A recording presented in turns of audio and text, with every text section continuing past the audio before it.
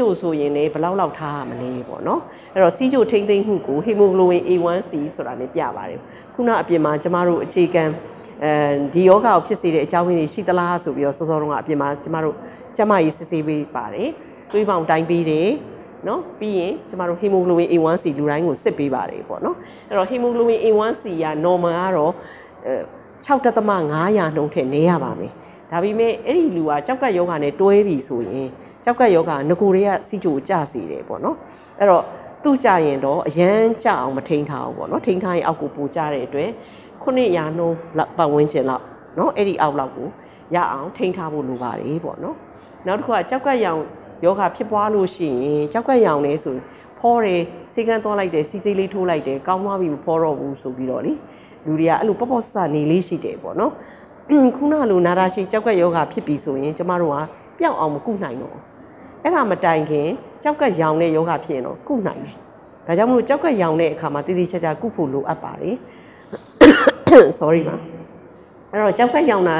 ယောဂဖြစ်ပြီဆိုရင်တော့တက်ကြွနားလေတယ်ဆရာဝန်နဲ့ပြပြီးတော့တည်တည်ချာချာစိတ်ကုဖို့လိုအပ်ပါတယ်ပေါ့နော်အဲ့ဒါအရေးကြီးပါတယ်အဲ့ဒီအချိန်မှာပဲကျမတို့ကကောင်းအောင်ကုသနိုင်လို့ပါအဲ့တော့ကြောက်ကရောင်ယောဂဖြစ်ပွားလို့ရှိရင်တကြမ်းနားလေတဲ့ဆရာဝန်နဲ့ကုပါပေါ့ဘာလို့ဆိုတော့သူ့ကုတုံးတွေကခက်ခဲပါတယ် အဲဟိုကောင်းတဲ့ဟာကိုပေးသလိုဆိုးတာကိုဖြစ်စေတဲ့ steroid လို့ခေါ်တဲ့ဟာတွေကိုသုံးရတယ်နောက်ကြောက်ကအယောင်ကြာဆေးတွေကျမတို့ cancer တွေမှာသုံးတဲ့ဆေးတွေကိုသုံးရတယ်ပေါ့နော်အဲ့တော့အဲ့ဒီဟာတွေကဟိုအတိုးလျှော့လို့ရတာတိတ်ကိုခက်ခဲပါတယ်ဒါကြောင့်မို့လို့တက်ကြွနားလေးတွေသူနဲ့ကုဖို့လိုအပ်ပါတယ်နောက်တစ်ခုကကြောက်ကမှာကြောက်တယ်လို့ရှိရင်လည်းစောလင်စွာကုသဖို့လိုအပ်ပါတယ်ပေါ့နော်ကြောက်ကလေးကတေးသေးလေးပဲဘာမှမဖြစ်ဘူးမလုပ်ချင်ဘူးဆိုဒီတိုင်းနေလို့မဖြစ်ပါဘူး စီးနေကြောက်ကခွဲစိတ်ဌာနတွေမှာဆိုရင်ကြောက်ကမှာကြောက်တယ်လို့ခွဲချင်တဲ့လူတွေကလားနေချီပြီးစောင့်ကြရပါတယ်ပေါ့နော်သူတို့လူတွေကအရန်ဟိုကြောက်တယ်တဲ့ယောဂဘလောက်များလဲဆိုတော့ကျမတို့တိုင်းပြည်မှာပေါ့နော်အဲ့တော့အဲ့ဒီဟာကိုလေစိုးလင်စွာကုဖို့လိုအပ်တယ်ခုနမိုးရပါကြောက်ကယောဂရှိတယ်ပေါ့နော်ရေးအိတ်တော်ရဲ့ယောဂတွေရှိတယ်လို့စောစောစီစီသိလို့ရှိရင် အဲ့ဒါအတွက်ကိုဘယ်လိုထိမ့်သိမ်းရမလဲဆိုတာကိုလေဆရာဝန်တွေနဲ့ပြသပြီးလုပ်ဖို့လိုအပ်ပါတယ်ပေါ့နော်ဒါကခုနအဓိကယောဂကိုဖြစ်စေတဲ့အကြောင်းရင်းတွေကိုထိမ့်သိမ်းတဲ့အခါမှာဘာစံနှုံးတွေထားရမလဲဆိုတာကိုပြောပြခြင်းဖြစ်ပါတယ်နောက်မပျက်စီးအောင်ကာကွယ်တဲ့ကျန်းမာရေးနေထိုင်မှလည်းကျမရေးနဲ့ညီအောင် နေထိုင်ပြုမှုမှုပုံစံလေးတွေပေါ့နော်အဲ့ဒါခုနကျမတို့ ဟိုဝေထားတဲ့စာရွက်ကလေးတွေမှာလည်းပါပါတယ်အဲရှစ်ချက်ရှိပါတယ်ပေါ့နော်ဘယ်လိုပုံစံမျိုးနဲ့နေထိုင်ကြမလဲပေါ့နော်အဲ့တော့ရေကိုလုံလောက်စွာတောက်ပါတဲ့တစ်အချက်ကပေါ့နော်အဲ့တော့ရေတောက်ရမှာမပြင်းပါနဲ့ရေဟာကြောက်ကအတွက်တော့အဓိကဆေးဖြစ်ပါတယ်ပေါ့နော်ဖြစ်မှမဟုတ်သေးဘူးပေါ့မဖြစ်ခင်ပေါ့နော်ကာကွယ်တဲ့နေရာမှာရေဒီမဖြစ်မနေလိုအပ်ပါတယ်အဲ့တော့ရေကိုလုံလောက်စွာတောက်ဖို့လိုအပ်တယ်ပေါ့အဲ့ဒါဆိုမေးစရာရှိရပေါ့ဘလောက်တောက်ရင်လုံလောက်တလဲပေါ့နော်တကယ်တမ်းကတော့ လူတယောက်တစ်နေ့တစ်နေ့စီးဘလောက်ထွက်လဲပေါ့မူတည်ပြီးကျမတို့ကရေတောက်ကြရတာပါပေါ့ဥပမာ2လီတာလောက်ထွက်တယ်ဆိုလို့ရှိရင်3လီတာလောက်ကတော့အေးဆေးတောက်လို့ရတယ်ပေါ့အဲ့တော့အချမ်းမြင့်တော့ရေကိုလုံလောက်စွာတောက်ပါမှာမှာ3လီတာလောက်တော့တနေ့တနေ့တောက်ဖို့လိုအပ်တယ်လို့နော်ကျွန်မပြောလိုပါတယ်နောက်တစ်ခုကဖားလျှော့စားပါပေါ့နော်အဲ့ဒါကစားလျှော့စားဖို့ကျမတို့မမလူမျိုးတွေမှာတော်တော်ခက်ပါတယ် even ကိုကိုတိုင်းနဲ့အမြဲတမ်းကိုကိုတစ်ချိန်လုံးသတိပေးရတယ်ပေါ့ဘာလို့ဆိုစားများတဲ့အစာတွေကြိုက်တယ်ကျမတို့မြန်မာလူမျိုးတွေကဘာတွေလဲဆိုတော့ နေ့တူတူကစားတယ်ငါ6တွေစားတယ်ပဇွန်ကြောက်စားတယ်ပြီးရင်လက်ဖက်စားတယ်ပုံးရီကြီးစားတယ် sorry အဲ့ဒီဟာတွေအားလုံးကရေရှည်ခံအောင်ကြာရှည်ခံအောင်စားထိတ်ထားတယ်စားမထည့်ပဲလုပ်လို့မရအောင်အဲ့တော့စားစားနှုံးကကျမတို့လူမျိုးတွေအတော်များပါတယ်ပေါ့နော်အဲ့တော့ကျမတို့မြန်မာလူမျိုးတွေတတိကိုစားဖလောက်စားလဲဆိုရင်သူတေသနာကိုအသေးစိတ်မလုပ်ရတော့လေပဲသူများနိုင်ငံမှာလုပ်ထားတဲ့ဟာပေါ့နော်အဲ့တော့ဂျပန်နိုင်ငံဆိုရင်တနေ့ကို15 gram လောက်စားတယ်တဲ့ နော်တချို့နိုင်ငံတွေမှာဆိုလို့ရှိရင်12 gram လောက်စားတယ်လို့ပြောပါတယ်ကျမတို့ရဲ့စားနှုန်းတွေကိုကျမတို့ဟိုသူတေသနာမလုပ်ရသေးပါဘူးဒါပေမဲ့တကယ်တမ်းကကျမနဲ့ညီအောင်စားနှုန်းကဘယ်လောက်စားရမလဲဆိုတော့1.5 gram ပဲစားရမယ်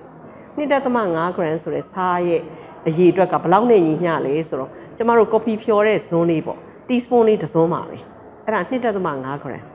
အဲ့တော့ဘလောက်ကျမတို့စားလဲဆိုတာပေါ့နော်ဟင်းဟင်းချက်လို့ရှိရင်ခွက်ကနေကောက်ထည့်လိုက်တာနှစ်စွန်းသုံးစွန်းပါပဲအဲ့တော့ဟင်းသုံးမျိုးဆိုရင် အများကြီး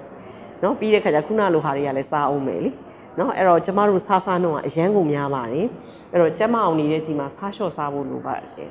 နောက်တစ်ခုကဆေးကိုဆရာဝန်ညွှန်ကြားသည့်အတိုင်းတောက်ပါပေါ့နော်လူတွေကဟိုအဝတ်စားဝယ်ဖို့တို့နော်အလှပသွားပြင်ဖို့တို့အခု kids ကလေးဆို teenage တွေဆိုသူတို့မျက်နှာပြင်းနေပါပြင်းနေပေါ့နော်အဲ့ဒါသိမ်းမောင်းများစွာကုန်တယ်သူတို့မနှမျော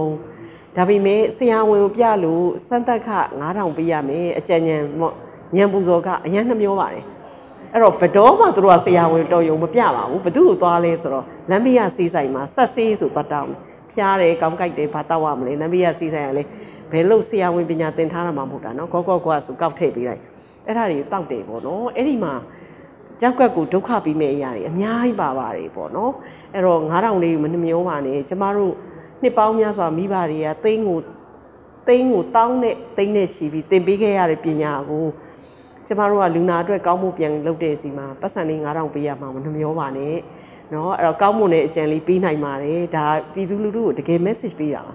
အဲ့လိုသွားပြီးတော့ဟိုဆက်ဆေးတွေစားပြီးနောက်သူတို့ဒုက္ခရောက်တဲ့ခါကျကဲပါယူပါဆိုရောက်လာတော့ကျမတို့မှာကဲရှင်တော်လည်းပဲမကဲနိုင်တဲ့အနေအထားတွေအများရောက်တာတွေ့ရတယ်ပေါ့နော်အဲ့တော့အဲ့ဒါလေးတွေဂရုစိုက်ဖို့လိုပါတယ်အဲ့တော့နံပါတ်3ပြီးသွားရင်လေးချက်ကပါလေအရင်မတောက်ပါနဲ့ပေါ့အဲ့ဒါဆိုရင်တော့အမျိုးသားဒုက္ခကျမတို့တော့ဝိုင်းရိုက်မယ်လို့ထင်ပါတယ်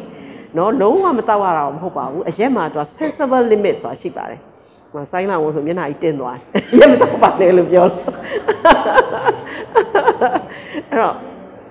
သူတောက်ရတဲ့ sensible limit ရှိတယ်ပေါ့နော် sensible limit တော့တောက်လို့ရပါတယ် sensible limit ကကဘာနေ1သတ်မှတ်ထားတာပါဘယ်လောက်တောက်လို့ရတယ်တစ်ပတ်ကိုဆိုပြီးတော့ unit နဲ့သတ်မှတ်ပါတယ်ပေါ့နော်အဲအဲ့ဒီဟာလေးရှိပါတယ်အဲ့ဒါထက်ကိုတော့ကြော်လွန်ပြီးမတောက်စေချင်တာပါပေါ့နော် social မတောက်တဲ့လူတွေတော့ social မရှိဘူးလို့မျိုးမတောက်တဲ့လူလည်း social ရှိပါတယ်တောက်တဲ့လူလည်း social ရှိပါတယ်ဒါပေမဲ့ကိုယ့်ဟာကိုယ် limit လုပ်ဖို့တော့လိုအပ်ပါတယ်ပေါ့နော် CFM, caring for well-being.